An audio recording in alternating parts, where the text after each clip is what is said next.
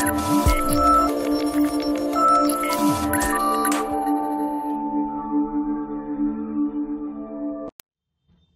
friends, welcome back to our channel. So in today's session, we'll see one more concept in Python programming that is zip function, the usage of zip function.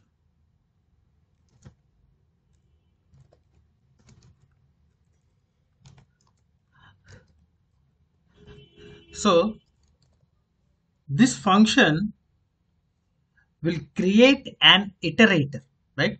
So this function creates an iterator that joins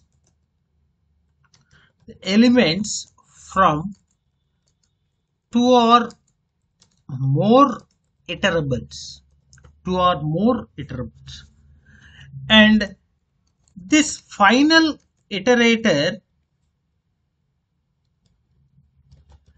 will be used to solve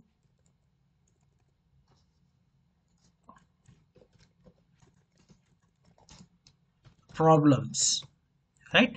So for example take two iterables some uh, a is equal to take a list 10 20 30 and take another list some 40 50 and 60 so these are the two iterables.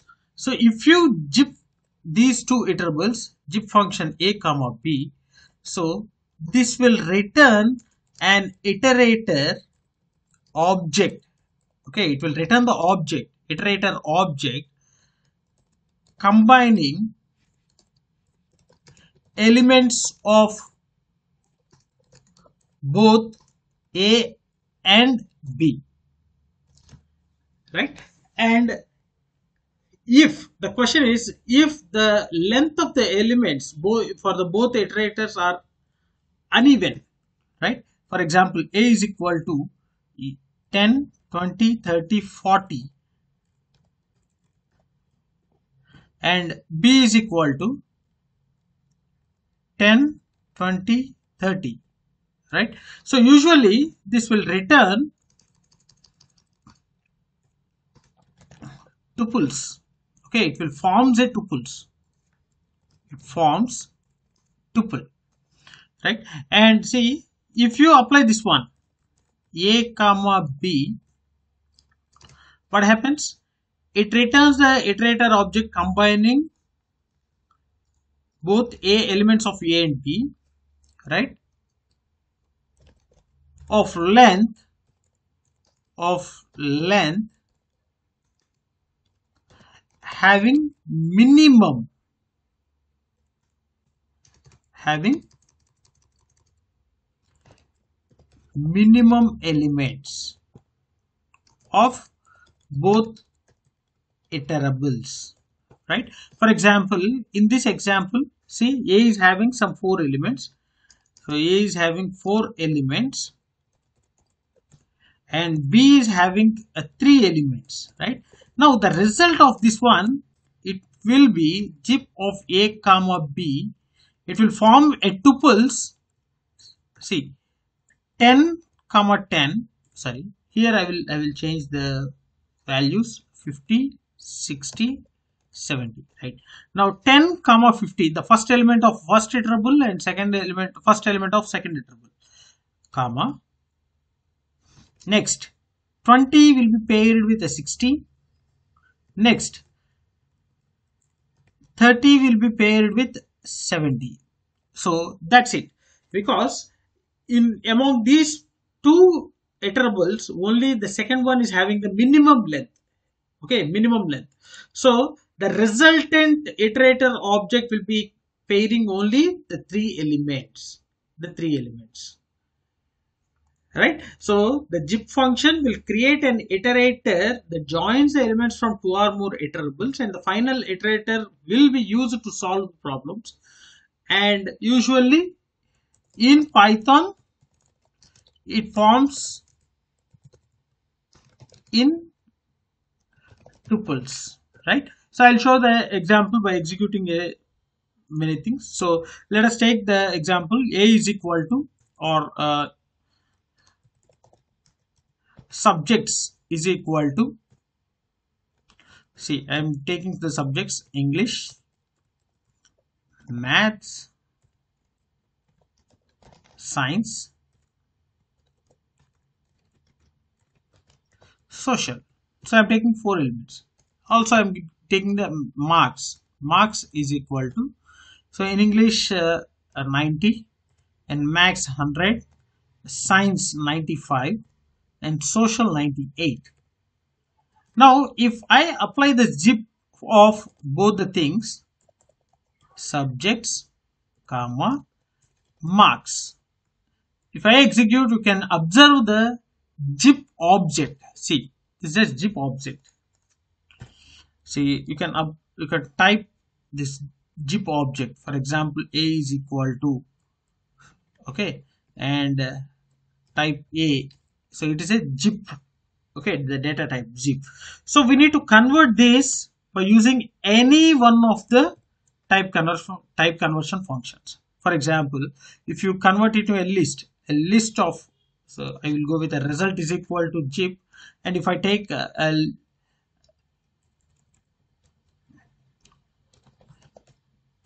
see some m is equal to zip of subjects and marks. A result is equal to list of m.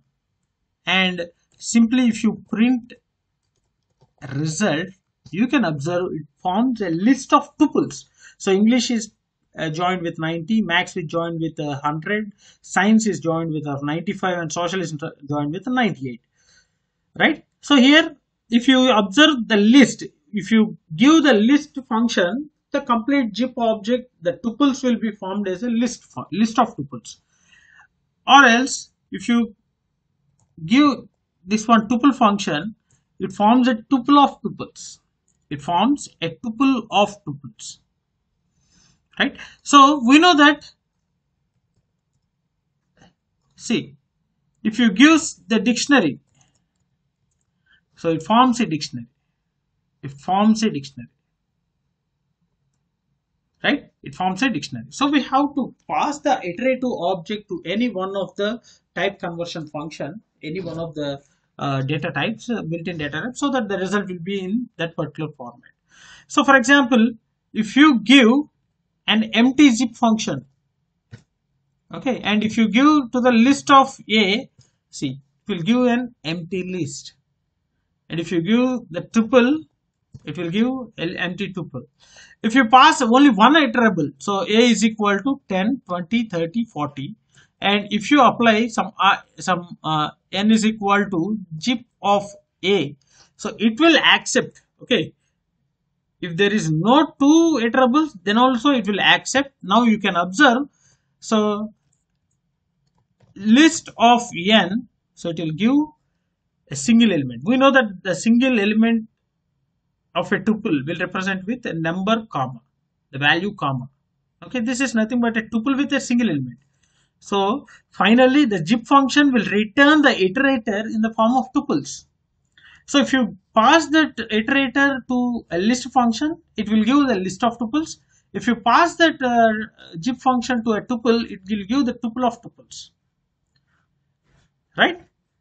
And see if we give the uneven elements just now we have seen some a is equal to or uh, we will take the same example.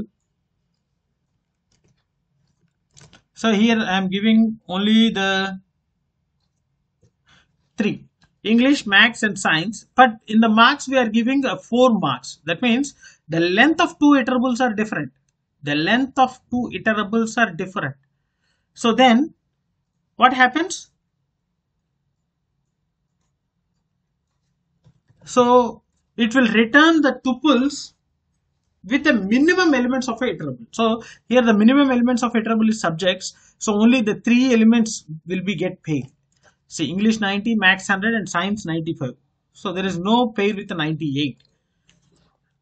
So this is how we can use the zip function. It will return the tuples and we have to give the uh, type conversion functions uh, like uh, list or tuples or uh, dictionary to form the a list of tuples or a tuple of tuples or a dictionary right? So this is how we can use the zip function in python. So hope you understood this one and feel free to post your doubts uh, in the comment section. Definitely i will try to clarify all your doubts.